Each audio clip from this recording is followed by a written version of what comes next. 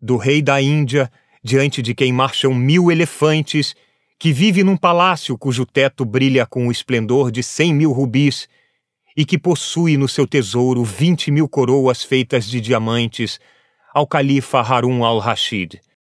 Embora seja de pouca valia o presente que vos enviamos, não deixeis de aceitá-lo como irmão e amigo, em consideração pela amizade que vos dedicamos de coração e da qual muito nos alegramos por dar-vos uma prova.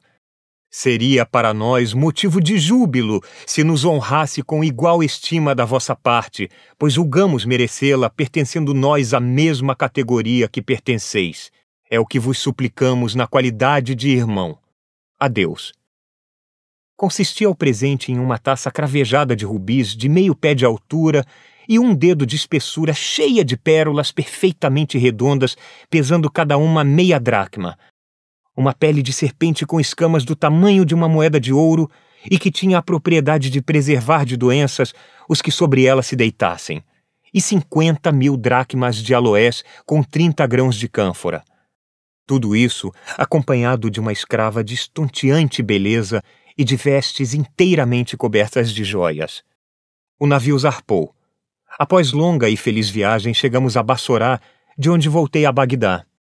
A primeira coisa que fiz ao chegar foi desincumbir-me da missão que me fora confiada. Peguei a carta do rei de Serendib e apresentei-me à porta do comendador dos crentes, seguido da bela escrava e acompanhado por pessoas da minha família que levavam os presentes. Expliquei o motivo que me levava ao palácio e imediatamente me conduziram à presença do califa.